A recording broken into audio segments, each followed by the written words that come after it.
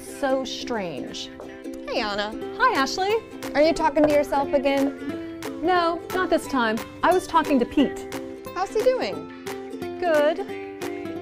He has a birthday coming up, but he told me not to tell anyone. Why?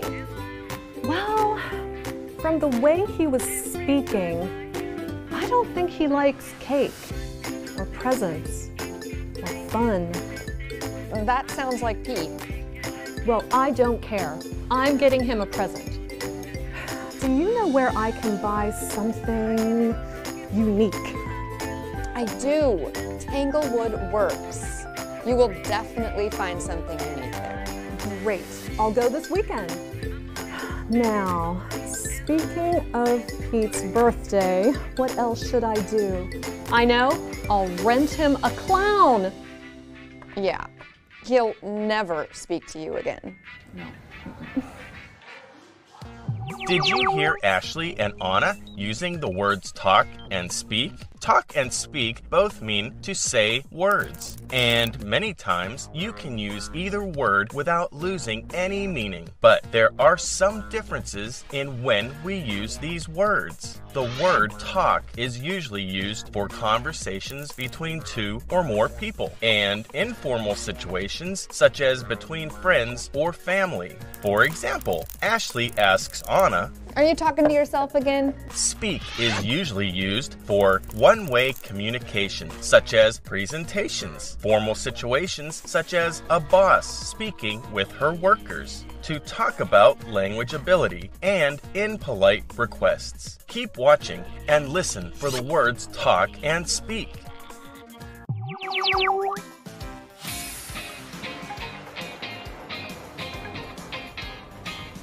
Hey there, welcome to Tanglewood Works. I'm Sue. How can I help you today? Hi, Sue. I'm Anna. A friend told me about your store. She said, Anna, this place is really unique. We are.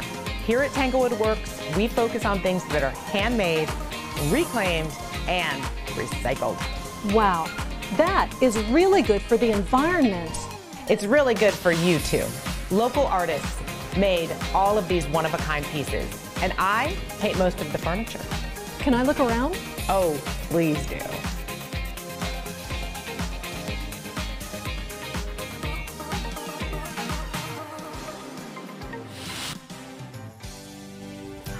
So, Anna, do you like to make things?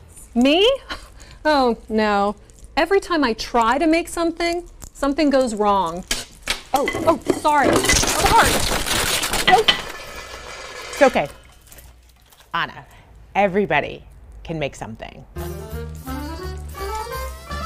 Sue, this piece is very interesting. You know, when I found these pieces, they were broken and in a dumpster. But they spoke to me and they said, Save me, Sue. Save me. Sue, what do you mean they spoke to you? When I see something special that someone has thrown away, I can almost hear it talk. Yeah, it's not saying anything. Anna, it's not easy to see the treasure in trash, Or hear it talk.